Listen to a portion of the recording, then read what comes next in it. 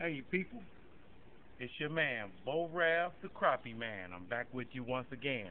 I'm going to show you guys how I clean my fish and how I use my panhandler.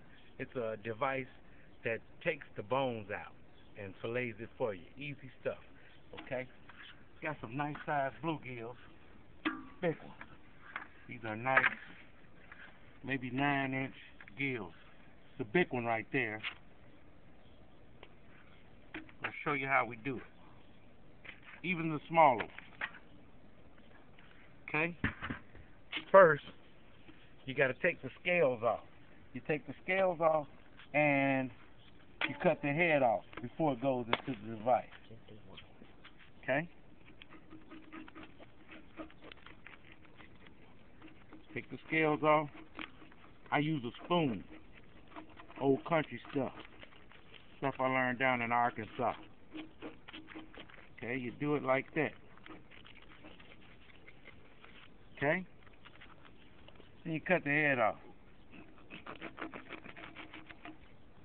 Full of eggs. You don't have to do that one. Now, I come over to the panhandler. This is the panhandler. Put it in like this. Lay it in like that. I close it. I lock it up.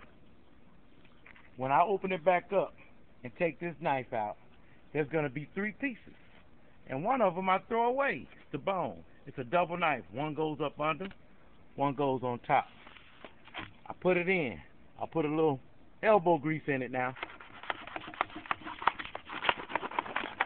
Now watch this. Just like magic. It's going to be three pieces. That's a good piece of meat. This is a throwaway. And this is another piece of meat. These are fillets. I've done about 70 to 80 of them already. And uh, just can't beat this. The next thing I'm going to do after I do after I clean them is I'm going to be eating fish, frying them. And uh, once again, it's your man BoRabb, the Crappie Man. Peace.